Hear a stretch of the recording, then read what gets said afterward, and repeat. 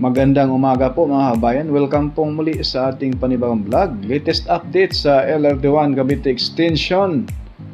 Ayan po mga kabayan, itong LRT1 Cavite Extension mga kabayan na sa iba po na hindi po nakakaalala mga kabayan sa darating na 2024 next year na po yan mga kabayan uh, mga last quarter of 2024 magbubukas na po itong Redemptor Station hanggang Dr. E. Santos Station. Bali, limang station po ang bubuksan sa darating na 2024. Next year na po yan mga kabayan. At ipasilip ko po sa inyo ang total length nitong extension na ito. Wala doon sa may Baklaran hanggang Niyog Cavite. No? Aabot po ito sa 11 kilometers mga kabayan. 11.8 kilometers mga bayan, no? Ayan po makikita po natin yung mismong kung ilan yung layo nila, no?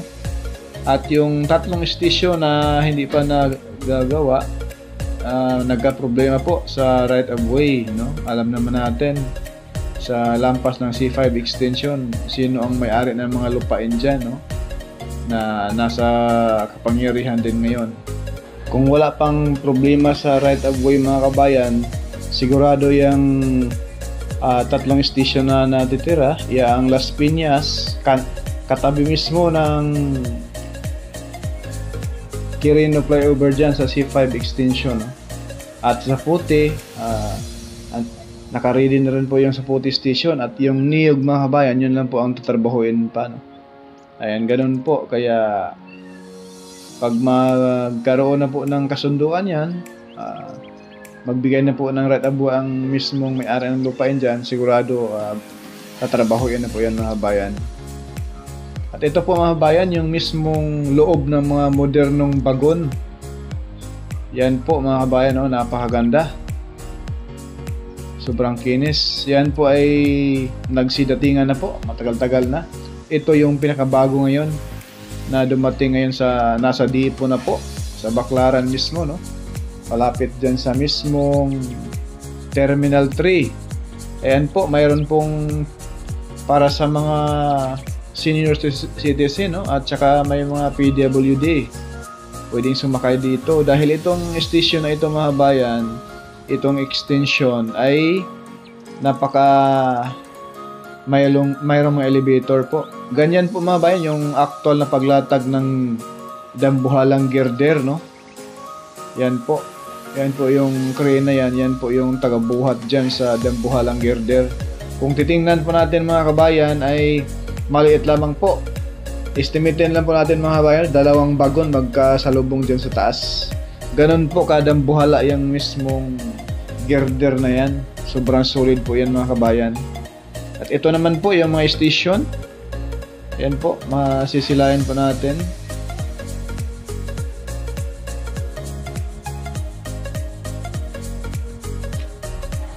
Yan po yung mga forma ng mga station mga kabayan.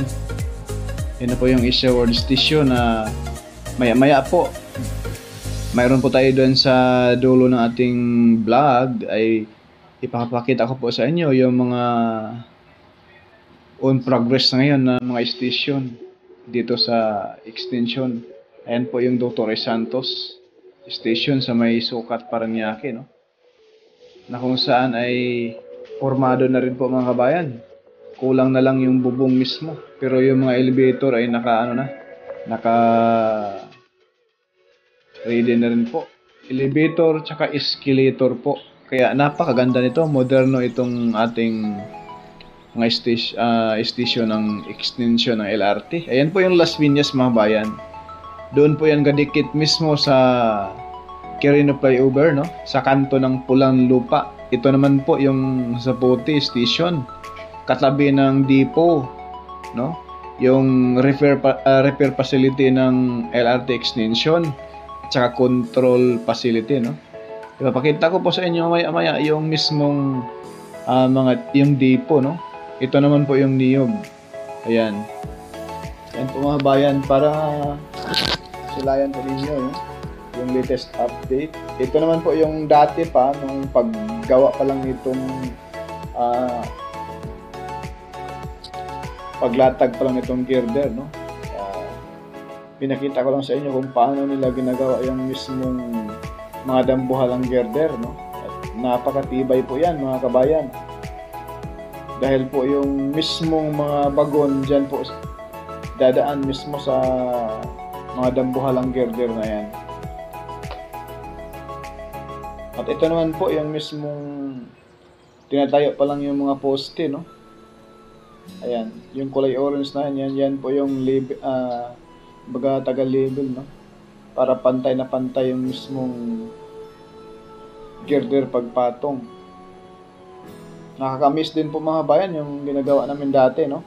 Yung naghuhukay pa lang sa mga poste. Yan, yung bagon mismo mga bayan, no? 2.59 meters ang haba. Ayan po. Talagang napakaganda ang gawa. Balot na balot pa yan mga bayan. Bagong bago. Ayan na po.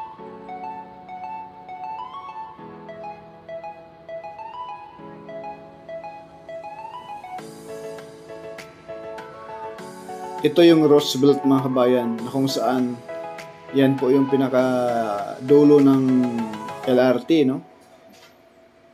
Ang total pala nito mga bayan itong ano na to 11.7 no pero kasama yung Roosevelt hanggang New Cavite ay aabot sa 32 kilometers ang haba. Ayan po, pinakita and more commuters from Cavite mas lalo pang dadami yung manakay nito kapag mag-operational po lahat. Ayan po, 32.4 kilometers no, mula sa Roosevelt hanggang Niog, Cavite. At may plano pa yan, no? Sana uh, maumpisahan. Ayan po yung Redemptor Station, mga bayan. Maumpisahan yung trabaho dyan, papuntang Tagaytay. Plano pa lang yan, mga bayan, no? Ay sigurado naman yung matupad yan pag uh, mga private company ang mag-finance po. Ayan po yung Niyog Cavite. Ay dito po tayo sa Google Map. Baklaran, dyan nag-start. Yan kulay dilaw na yan mahaba. Yan po ang dadaanan ng LRT extension. Ayan, dito po. Ayan. Yan po, Niyog Cavite po. Dito na po tayo. Ito na po yung Redemptor Station. Side po tayo sa sa likod po ito mga bayan, side sa Muwa. Yan, yung harap niyan ay yan po yung mismong Baclaran Church.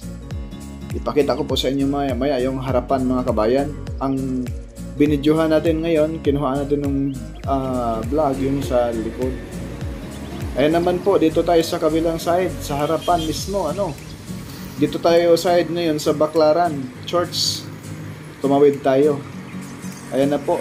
Dito sa gitna nitong Ross Boulevard, ayan po, may mga poste na, no? Maglalagay dyan ng footbridge. Patawid dyan sa Redemptor Station, no? Para safe naman po yung mga passenger dyan, no? At yung footbridge na yan, pwede rin po sasakay yung mismong uh, PWD.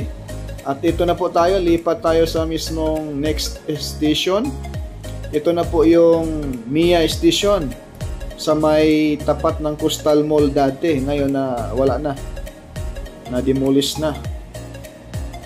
At yan na po mga bayan, no? Ang kulang dyan, yung bubong na lang sa taas. May mga steel na rin po yung pinaka rooftop mga habayan. O patungan ng bubong, no? At kulang dyan yung escalator at elevator na lang. At yung bubong. Yan no may mga landscape pa yan sa gilid mga bayan. Kaya abangan po ninyo pasok. Kung makasingit lang tayo dyan makalipad lang yung drone natin dito makikita sana ninyo yung mga yung mismong loob uh, malapit uh, dyan sa mismong loob no? Kaso sini hinaharang din tayo ng gwardiya no bawal daw kuna ng video kaya dito lang po tayo mismo sa distansya bawal magpalipad ng drone dito dahil sa malapit sa airport tinatrack tayo ng kaap tsaka Philippine Air Force kaya hindi tayo makalipad Pero pag may ano tayo, may permit.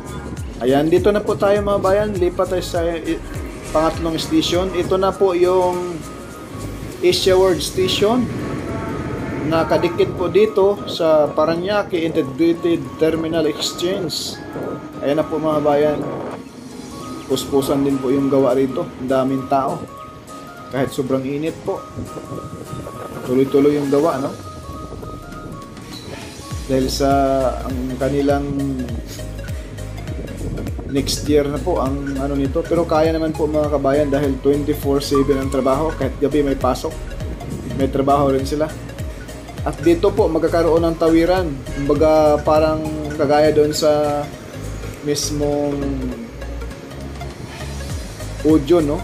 May tawiran sa taas.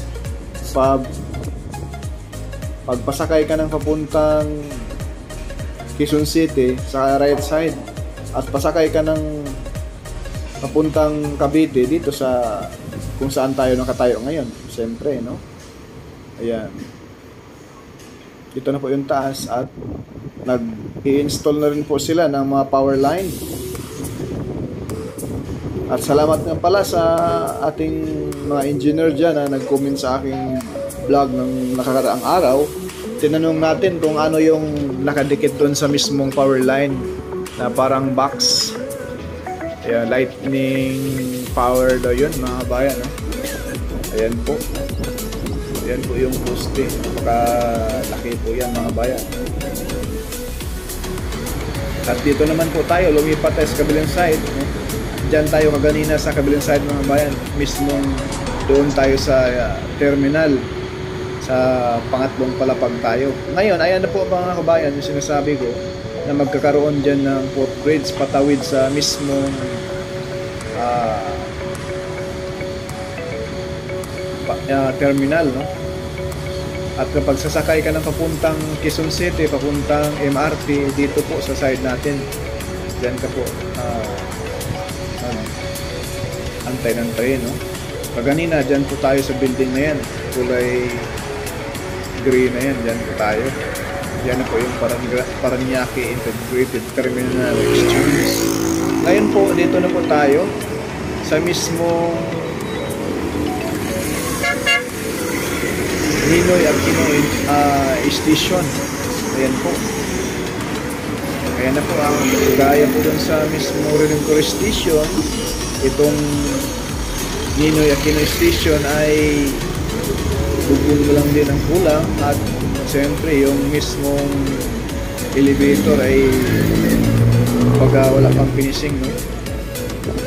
ayan po dito na tayo sa mismong Dr. Santos Station mga kabayan ayan po yung bubong kagaya po dun sa mismong Redemptor Station ay nakaready na rin po oh, may finishing na may may makinis na po yung elevator no? ayan po ayan po yung mga kaubayan natin kahit sobrang init. Talagang walang silong-silong dyan mga bayan kaya delikado po sa heat stroke. Lalo na po yung mga construction worker natin dito na may mga edad na hindi na dapat nakamonitor lagi yung kanilang ah, blood pressure. Sa sobrang ngayon grabe. Ayan na po yung lineman alignment. Dito sa area na to mga bayan wala pang power line. Ngayon po, lipat po tayo. Ito na po yung mismong ah, sa puti station, no? Ayan. Masisilayan natin na andyan na po yung control center at washing center ng mga bagon. Ayan po yung building sa unahan. Ah, yung mismong Las Piñas Station mga bayan ay hindi pa nagawa. Kaya hindi na po natin pinapakita, ano? Doon po yun sa mismong Quirino flyover, no? Sa may pulang lupa. Ayan, andyan po yung power la, ah, mismong control center ng bagon dito sa area na to. At katata- katabi ng building na yan, yung mahaba na yan, dyan po itatayo yung mismong station dito sa Saputi. No? Hindi po yan station mga bayan ha, yung building na malaki sa unahan, hindi po yan, yung mahaba na yan. Yan po yung washing center ng mga no? Yan po yung repair facility, no? Kung may kon may kukumpunihin, no? May problema. Ayan. Sa unahan nito, yun na po yung Niyog Station. At yun lang po mga bayan, yung ating update sa LRT1 Cavite Extension. Abang-abangan po ninyo yung susunod pa nating update. God bless po. Like, share, subscribe po.